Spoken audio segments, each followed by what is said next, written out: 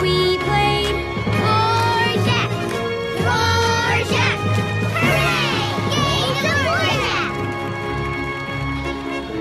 And here comes the music of the day. Listen.